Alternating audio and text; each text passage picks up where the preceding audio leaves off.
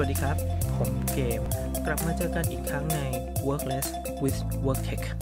พอดแคสต์จาก Rock PP 125 ที่จะพาคุณมารู้จักกับโปรแกรมแอปต่างๆ เพื่อการทำงานและเปลี่ยนการทำงานที่ยุ่งยากของคุณให้ง่ายขึ้น พอดแคสต์ของเราตอนนี้นะครับ มีให้ทั้งรับชมและรับฟังหลายช่องทางเลย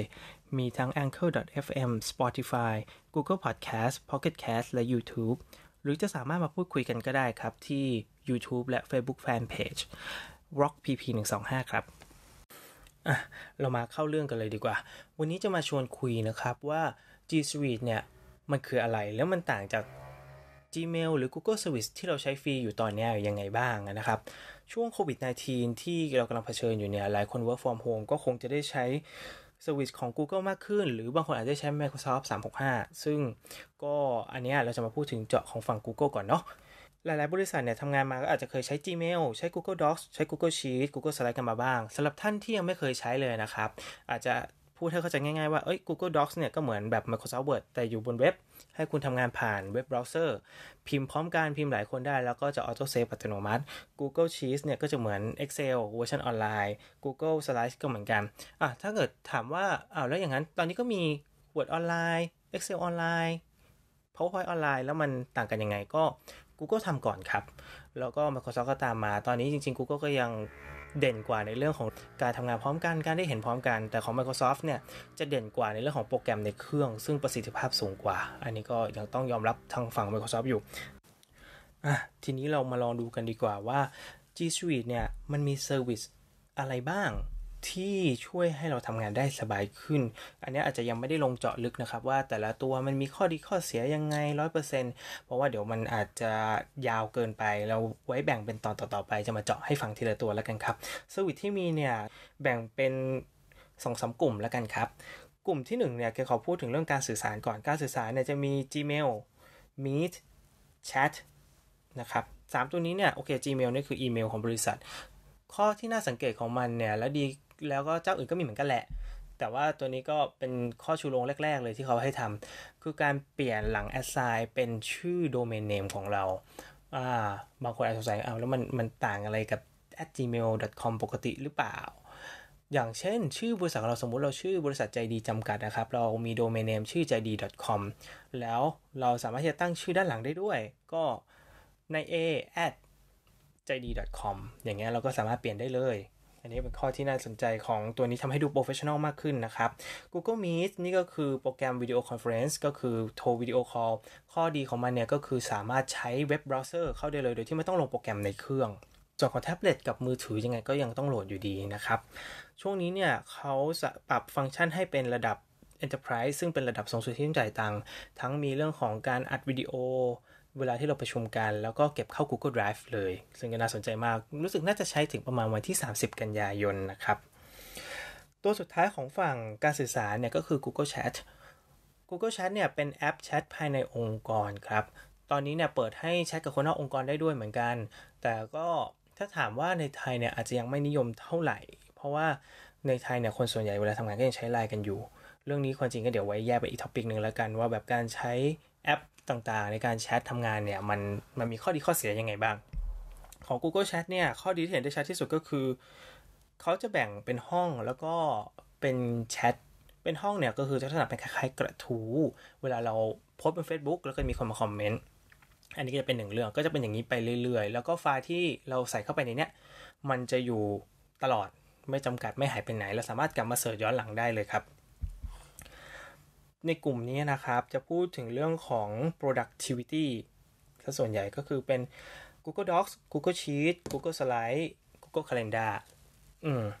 Google Docs เนี่ยก็เหมือนกับ Microsoft Word แหละครับ แต่ว่าโอเคมันให้ทำงานผ่านเบราว์เซอร์ แล้วก็อาจจะมีแอปในมือถือในแท็บเล็ต ข้อดีของมันเนี่ยคือการทำงานพร้อมกันเรียลไทม์ คือสมมติว่าเรามี 5 คน เราต้องแบบจัดกการเอกสารนี้ ไม่ว่าจะเป็น Google Sheet Google Doc Google Slide เนี่ย เราจะเห็นเลยว่าใครพิมพ์ตรงไหนทำอะไรยังไงพร้อมกันทันทีเลย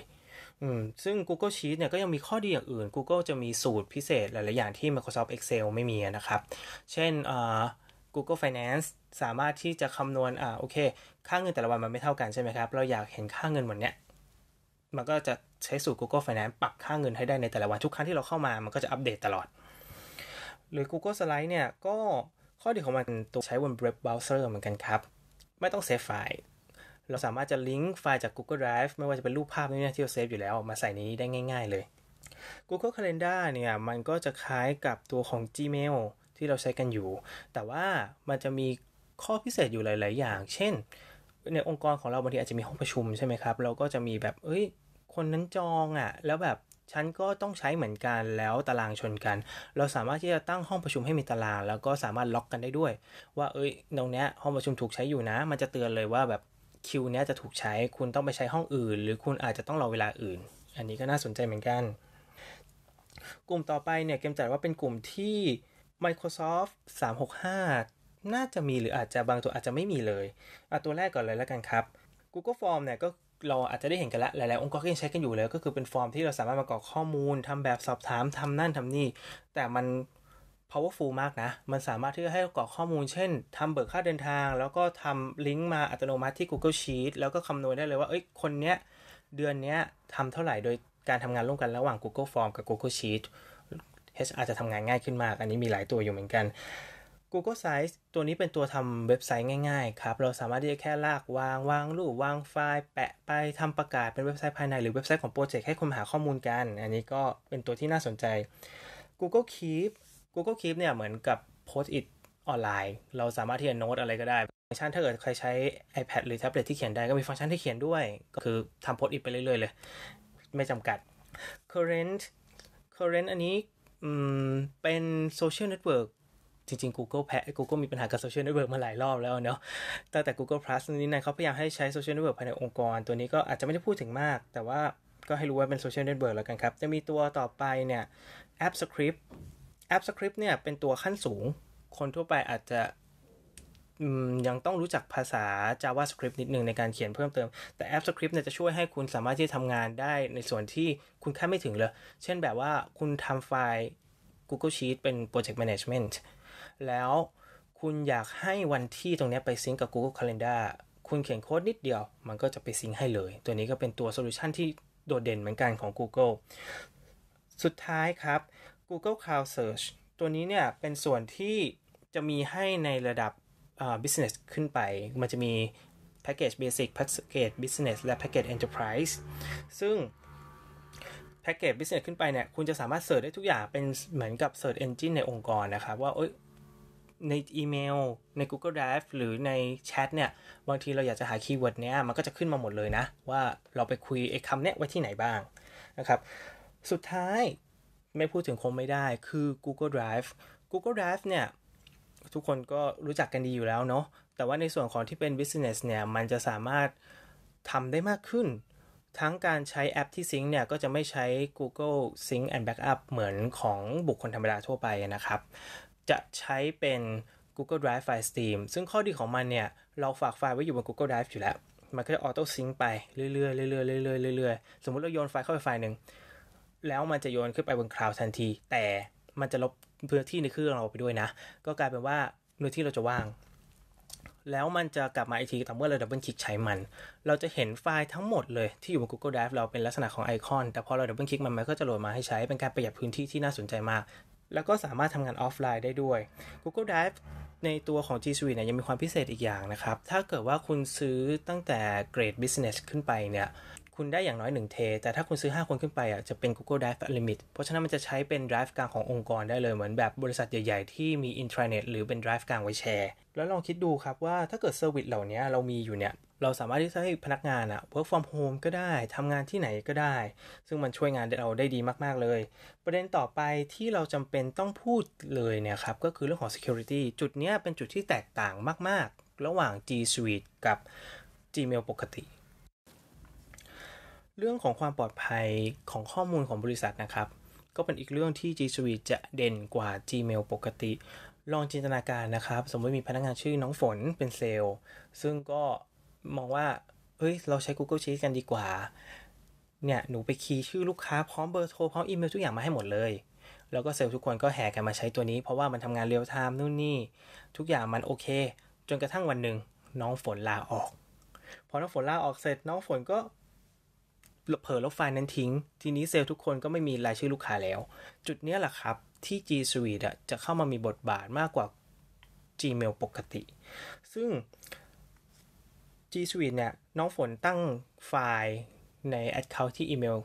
บริษัทตั้งให้ มันจะถือเป็นของบริษัทตั้งแต่แรก น้องฝนจะไม่มีสิทธิ์เอาออกไปตั้งแต่แรกอยู่แล้ว ไม่ว่าน้องฝนจะลาออกไปแล้ว เราก็สามารถที่จะดึงกลับมาได้ หรือน้องฝนพยายามจะลบไฟล์แล้วก็จะสามารถกู้คืนกลับมาได้เหมือนกัน จะมีสิ่งที่เรียกว่า Google Device Policy ซึ่งจะเป็นแอปที่ให้พนักงานดาวน์โหลดลงไป ในมือถือในอุปกรณ์เคลื่อนที่ต่างๆ เช่นแท็บเล็ตเนี่ย ก็จะถูกลงไปแล้วก็จะสร้างสิ่งที่เรียกว่าโปรไฟล์การทำงานขึ้นมา ซึ่งพอมาเป็นตัว Work Profile เนี่ยเราสามารถที่จะควบคุมได้ว่า เอ้ย เกิดสมมติพนักงานคนนี้เราทะเลาะกกันแล้วเลิกกันด้วยไม่ดี ไล่ออกกระทันหัน เขาอาจจะวิ่งเข้ามาลบไฟล์เรา หรืออาจจะแอบแคปไฟล์เราเอาออกไปให้คนอื่นก็ได้ เราสามารถกดรีโมทลบข้อมูลเฉพาะส่วนที่เป็นงานนะ ส่วนที่เป็นมือถือส่วนตัวเราจะไม่เกี่ยวกับเขา ก็ออกมาได้เลย เราสร้างความปลอดภัยได้ค่อนข้างสูงเลยทีเดียวนะครับ อีกข้อหนึ่งที่เด่นในเรื่องของการทำงานด้านความปลอดภัย ก็คือสมมุติว่าพนักงานทำงานจากที่บ้าน ก็ต้องล็อกอินด้วยอีเมลแอดเคาท์ของบริษัทเข้ามาใช้ Google Doc ใช้นู่นใช้นี่ ถ้าเกิดเราสังเกตว่า เอ้ย มันผิดปกตินะ อันเนี้ยเราสามารถมาดูย้อนหลังได้ด้วยว่าเขาไปล็อกอินที่ไหนมา และเราสามารถที่จะกดจากฝั่งของแอดมินเนี่ย เพื่อ log out จากที่นั่น ข้อมูลของบริษัทจะได้ไม่รั่วไหลออกไปนะครับ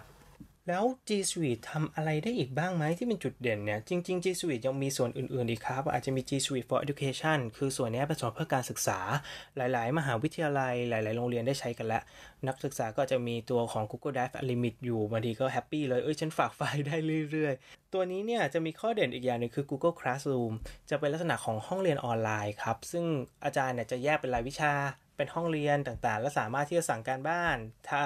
ทำ material ไว้ในนั้นทำสไลด์ไว้ให้อ่านเพิ่มเติม รวมถึงให้นักเรียนส่งการบ้าน หรือให้ทำข้อสอบ แล้วตรวจให้คะแนนได้ด้วยเลย อันนี้เดี๋ยวไว้เรามาคุยกันแยกอีกทีเนาะเพราะเป็นอีกตัวนึงที่น่าสนใจมากๆ อีกเรื่องที่ไม่พูดไม่ได้เลยเนี่ยคือเรื่องของการประยุกต์ใช้ระหว่างแอปต่างๆ ของ Google ด้วยกันเองนะครับคือเรื่องของตัวนี้มันตั้งแต่ Google Sites รวมกับ Google Sheet หรือการ sync sync กับ Google Form ต่างๆเนี่ยทำงานกันได้อย่างราบรื่น เราสามารถที่จะเพิ่ม add-on บางอย่างเพื่อให้ทำงานได้อะลองจินตนาการดูสมมติว่าแบบออฟฟิศเราไม่ได้ซื้อ solution ที่ทำเรื่องของเวลาพนักงานไว้ แต่ว่าเรายังอยากให้พนักงานเนี่ยกรอกข้อมูลเวลาไม่อยากให้กรอกเป็นเอกสารละ เราก็สร้าง Google Form ขึ้นมาหนึ่งอัน แล้วก็ใส่แอดออนเข้าไป เพิ่มการแจ้งเตือนให้รู้ว่ามีคนมากรอกข้อมูลเพื่อขอลานะ แล้วก็สามารถใส่แอดออนเข้าไปอีกอัน เพื่อให้หัวหน้าอนุมัติหรือไม่อนุมัติก็ได้ เสร็จแล้วข้อมูลที่เขากรอกเนี่ย ก็จะวิ่งเข้าไปอยู่ใน Google Sheet เราสามารถที่จะเขียนสูตรเพื่อให้รวมว่า เอ้ย คนเนี้ยลางานเกินโควตายัง คนนี้เดือนนี้ลาไปเท่าไหร่ หรือว่าในเดือนมิถุนายน มีคนลาไปแล้วกี่คน ซึ่งการทำงานร่วมกันตรงนี้ถือว่าเป็นอะไรที่ smooth มาก ถ้าเกิดเทียบกับ service อื่นๆนะครับ มันเกือบที่เป็นโปรแกรมโปรแกรมหนึ่งได้เลย ที่เราสามารถจะจินตนาการแล้วมองเรื่องของ flow แล้วทำได้เลย แม้ว่ามันอาจจะ ไม่ได้ perfect แต่มันก็เพียงพอสำหรับงานพื้นฐานของบริษัทที่ยังไม่ได้มีความต้องการที่จะซื้อโปรแกรมต่างๆนะครับ เราจ่ายแค่ที่ตัว G Suite ที่เดียวมันก็จบแล้วมาเรื่องของตัวราคาก่อนนะครับ ฝั่งนี้ก็จะพูดถึงฝั่งของธุรกิจเนาะมันจะมีแพ็กเกจให้เลือกอยู่ 3 แพ็กเกจ 1 คือ Basic Basic เนี่ยก็คือจะได้สิ่งที่ได้มาที่พูดมาเกือบทั้งหมดเลย ยกเว้นตัวของ Google Cloud Search ซึ่งราคาเนี่ยมันอยู่ที่ 6 เหรียญต่อคนต่อเดือน ถ้าตีเป็นเงินไทยเนี่ยก็ ประมาณอยู่ที่ร้อยแปดสิบร้อยเก้าสิบไม่เกินเนี้ยครับประมาณนี้ขึ้นอยู่กับค่าเงินแต่ละช่วงนะครับช่วงนี้มันค่าเงินถูกอยู่พอสมควร แล้วเหมือนเห็นว่าช่วงนี้มีลดราคาอยู่ด้วยไงก็ลองไปดูราคากันอีกทีก็ได้ครับ ส่วนของระดับที่สูงขึ้นมาเนี่ยคือ business ตัวนี้เนี่ยก็จะได้เนื้อที่ของ drive เนี่ย ถ้าเกิน 5 คนขึ้นไปคือ unlimit แต่ถ้าต่ำกว่า 5 คนเนี่ยก็จะได้คนละ1เท แล้วก็จะมีตัวของ Google Vault ซึ่งเมื่อกี้ไม่ได้พูดถึง จะเป็นตัวที่เกิดสมมติว่ามีเคสขึ้นมาในบริษัท เราสามารถอยากสืบสวนสอบสวนว่าอีเมลเขาไปคุยกับใคร แล้วทำไมถึงเกิดเรื่องขึ้นมา เราสามารถที่จะสืบได้เลยด้วย จากตัวเซอร์วิสตัวนี้ ตัวนี้เนี่ยราคาอยู่ที่ 12 เหรียญต่อคนต่อเดือน ซึ่งก็ประมาณ 3-400 บาท ตอนนี้ก็ยังมีลดราคาอยู่เหมือนกัน เกรดต่อไปเป็นเกรดที่สูงขึ้น ตัวนี้นะคือ Grade Enterprise ตัวนี้จะเพิ่มตัวของความปลอดภัยที่มากขึ้น แต่โอเคสำหรับ SME ทั่วไปอาจจะยังไม่ต้องใช้ถึงขั้นนี้นะครับยังไงนี้ลองไปดูศึกษากันอีกทีหนึ่งถ้าถามว่าแล้วสำหรับฝ่ายการศึกษาล่ะราคาจะอยู่ที่เท่าไหร่ อันนี้อาจจะต้องอีเมลไปคุยกับทาง Google ซึ่งมันจะมีส่วนให้ติดต่อนะครับ ราคาอาจจะถูกลงกว่านี้อีกมาถึงตรงนี้เนี่ย ถ้าถามว่ามัน คุ้มค่ากับการที่ต้องจ่ายเงินแล้วหรือยังเนี่ย ในความเห็นของเกมในเกมมองว่าคุ้มค่ามากๆเลยกับการที่สมมุติเราจ่ายแค่ต่อคน 300ถึง400 บาทต่อเดือนเนี่ย เราได้หลาย ๆ อย่างมาอย่างตั้งแต่เรื่องของความปลอดภัย ความสบายใจ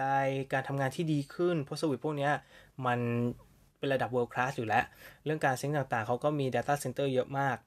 อืมแต่ถ้าเกิดว่ายังไม่พร้อมจะใช้ Gmail ปกติก็ได้ แต่เราอาจจะต้องรับความเสี่ยงหลายๆอย่างอย่างที่ยกตัวอย่างไปนะครับ แล้ว service พวกนี้เนี่ยมันมีตัวอื่นที่มาแข่งกันไหมอย่างของ G Suite เนี่ยตัวที่แข่งได้และเห็นได้ชัดที่สุดคือ Microsoft 365 ซึ่งเป็น solution คล้ายๆกันเลย แล้วก็จะมีตัวของ Microsoft Teams ซึ่งตอนนี้ก็ค่อนข้างดังอยู่เนาะ มีทั้งแบบให้ task คนอื่น มีการคอลลาบอร์เรตกัน อันนี้เป็นอีกอย่างที่ G Suite ไม่มี เดี๋ยวไว้เรามาพูดตัวนี้กันแล้วเปรียบเทียบกันอีกทีหนึ่งนะครับ อ่า พูดกันมาตั้งเยอะ ถ้าเราอยากรู้ข้อมูลเพิ่มเติมจะไปหาได้ที่ไหน สามารถเข้าไปดูข้อมูลเพิ่มเติมได้ที่ gsuite.google.com นะครับ เดี๋ยวจะใส่ลิงก์ไว้ให้ในตรง description ด้วย ก็จะมีข้อมูลตั้งแต่ว่าโปรแกรมมีอะไรบ้าง แต่ละตัวมีอะไรบ้าง จะละเอียดกว่าที่เกมเล่าตอนนี้ด้วยนะครับ วันนี้พอดแคสต์ของเราคงต้องจบแต่เพียงเท่านี้ แล้วก็ผู้ฟังแต่ละท่านก็เคยลองใช้ไหมครับ ตัว G Suite เป็นยังไงใช้แล้วมีการประยุกต์ยังไงบ้างยังไงมาเล่าให้ฟัง หรือใครที่ไม่เคยใช้สนใจอยากจะมาปรึกษาก็ลองมาคุยกันได้ครับ ที่ Facebook Fanpage Rock PP 125หรือที่ YouTube Channel Rock PP 125สำหรับวันนี้ Podcast Workless with Work Tech ก็ต้องลาไปก่อน แล้วพบกันใหม่ในสัปดาห์หน้า สวัสดีครับ